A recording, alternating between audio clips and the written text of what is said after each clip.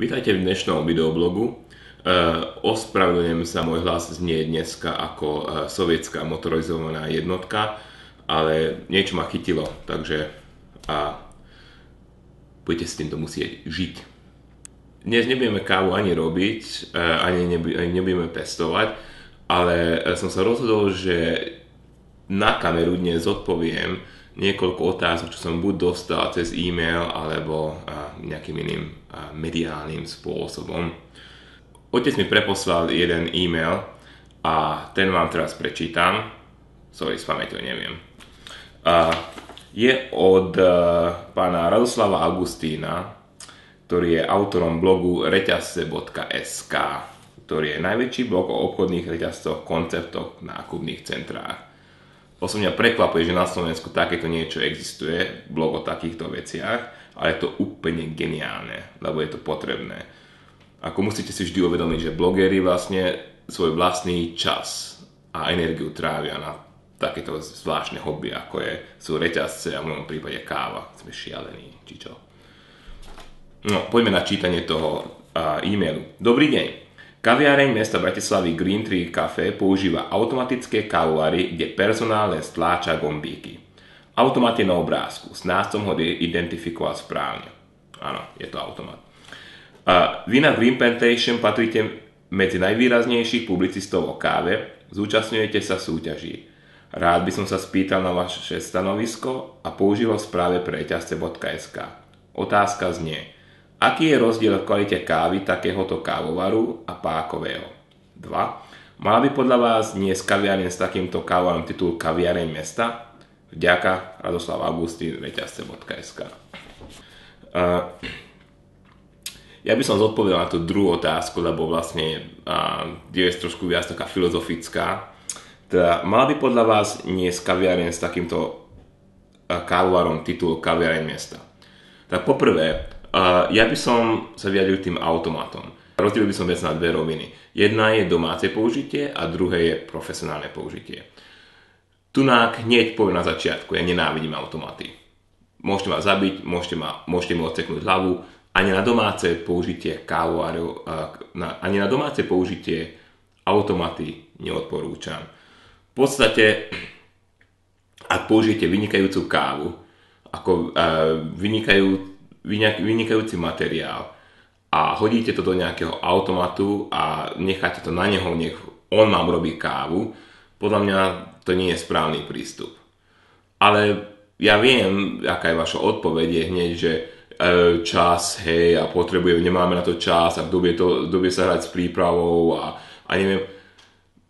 Toto je môj názor, hej, ja si vždy nájdem ten čas. Pokiaľ ja si kúpim geniálnu kávu, čo samozrejme stojí aj peniaze, a za to geniálnou kávou je vlastne produkt, e, za ktorým je veľmi veľa práce, tak ja si ten čas nájdem a spravím si tú kávu. A v podstate, aj keď nie je to espresso, lebo doma espresso je dosť ťažko spraviť, ale je strašne veľa iných spôsobov, ako tú kávu pripraviť. Takže doma, predstavte si to vlastne takýmto spôsobom, že máte vynikajúci steak, hej, nádherná kravička, čerstvý, všetko. Dojdete domov a ako si ho pripravíte? Cáhnete ho do mikrovlnky? Ako upečie sa, niečo z toho budete mať, ale nie som si istý, že je to to isté, ako keď, keď si nájdete čas, predhrejete si nejakú peknú uh, panvicu, vašu obľúbenú panvicu a dáte tomu stejku tú šancu. A vy sám vidíte, ako sa ten steak vyvíja, rozvíja na tej panvici a kedy je pre vás uh, správny, hej? To je môj názor. Uh, poďme teraz na tú druhú rovinu. A teraz, keď dojdete do kaviárne, uh, majú vás obslúžiť automatom? Môj názor a väčšiny ľudí v remesle je nie. V žiadnom prípade nie.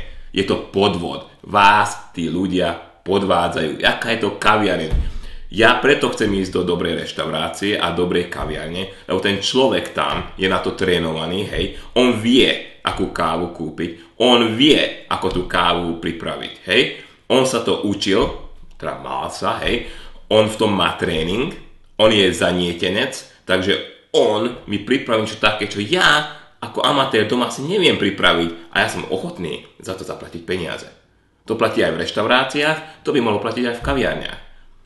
Problém na Slovensku, teda je to na celom svete, na Slovensku je to veľmi bádateľné, že a, to za, tá zanietenosť z toho remesla chýba. To znamená, že ľudia, čo v tomto remesle pracujú, ich hlavnou motiváciou sú peniaze a zisk, profit ako samotný produkt. A to nejde. To vidno na tom, aký je prístup eh, tej kaviarne voči zákazníkom. Ho klame. To je môj názor. A znova, môžete mi odseknúť hlavu, je to môj názor, podľa mňa je to lož. Automat používať v kaviarni, to je lož, oklamenie zákazníka. Osobne som o tejto súťaži nevedel, ale dobre, ja žijem už dlho od mimo Slovenska, ale je to ako... Mne sa mozog zastaví, naozaj mozog zastaví, keď eh, Bratislava, mesto Bratislava dá titul uh, kaviarni, ktorá môže byť úplne super, hej, môže byť nádherne zariadená, ale dáva ľuďom kávu z automatu. Ako seriózne. To je, ako mozog sa mi zastaví. Naozaj, mozog sa mi zastaví. Kto dáva túto cenu? Na základe čoho sa to rozhodli? Tak ja si to pozriem na internete, hej. Dobrá káva a dobrá atmosféra. Tak naozaj som zvedavý, kto tú kávu hodnotil. Som naozaj zvedavý, kto tú kávu hodnotil. Ako